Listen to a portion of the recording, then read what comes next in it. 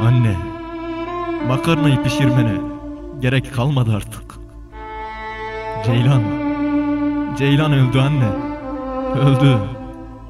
Uğur gibi, Mızgin gibi, Azat gibi, Ceylan, Ceylan öldü anne. Öldü. Hem tam kafasının ortasına, ipeksi saçlarının arasına zalim bir havan mermisi süzülmüş. Anne, Ceylan öldü. Öldü anne. Öldü. Zalimin elinden bir havan kafasına düşmüş. Parçalanmış Ceylan'ın gülteni. Anne, Ceylan öldü. Öldü işte. Vardığımda daha kara dumanlar yükseliyordu göklere. Vurulan Ceylan gitmemişti. Bir şeyleri kalmıştı burada. Ceylan parçalanan kalbini arıyordu oracıkta. Gitmemişti. En son bir ağacın dalında buldu kalbini anne. Ama bir türlü alamıyordu. Ne kadar uzansa da kalbini alamıyordu anne. Alamıyordu. Bir melek vermişti. Tıpkı, tıpkı senin dediğin gibi çocuklar melekti. O da melek olmuştu anne. O da melek olmuştu. Anne.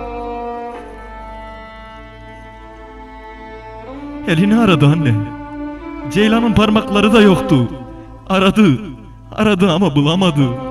Anne, Ceylan'ın tan kafasına düşmüştü havan mermisi.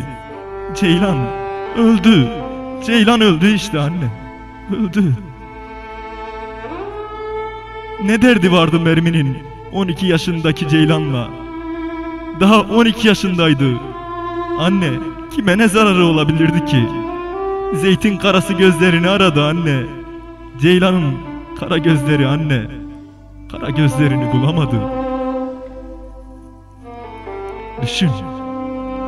Düşün 12 yaşındaki bacım Ceylan kara gözlerini bulamıyor.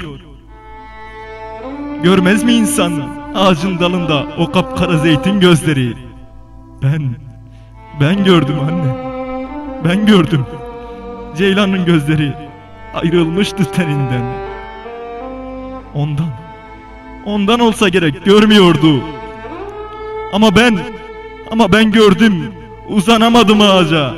Oracıkta oturdum. Ağladım. İsyan ettim anne.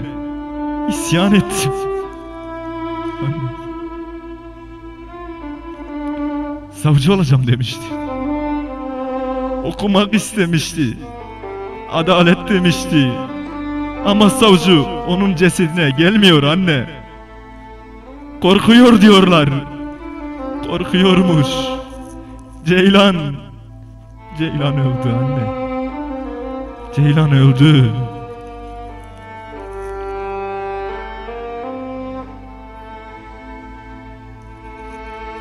Ciğerini de alamadı. Çok direndi. Toplayamadı vücudunu. Lanet bir havan mermisi paramparça etmişti. Hadi, hadi atan da vicdan yok. Havanın demiri ne de mi Allah vicdan vermez. Bu kadar parçalanır mı bir gül? Baktı ki ne etse boşa. Oturdu anne. Canını alan havanla oynamaya başladı. 12 yaşındaki bir çocuk katiliyle oynadı anne.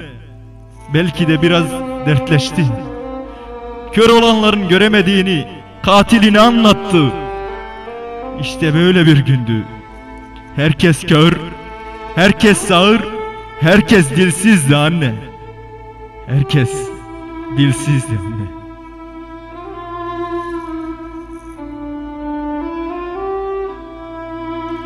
Ey dağların gülü, Ceylan, sen yine de gül.